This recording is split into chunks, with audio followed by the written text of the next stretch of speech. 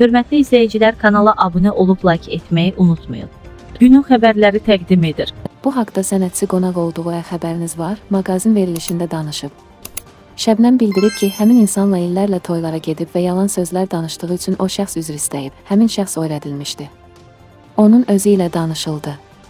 O, dediyi sözlərə görə üzr istədi.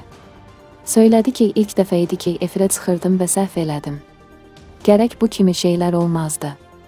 Onunla illərlə toylara, məclislərə getmişik. Elə şeylər var ki, bunları demək olmaz. Öyrətsələr belə. Axı nə qazandınız? Siz yenə yoxsunuz.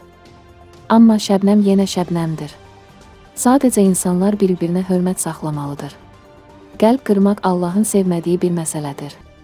Həmin şəxslə mən özüm danışmadım. O, bir bəy üçün yaraşmayan sözlər dilə gətirdi. Belə şeyləri bir bəy etsə belə danışmamalıdır. Amma etməyə etməyə danışdığı üçün insanlar tərəfindən çox qınanıldı.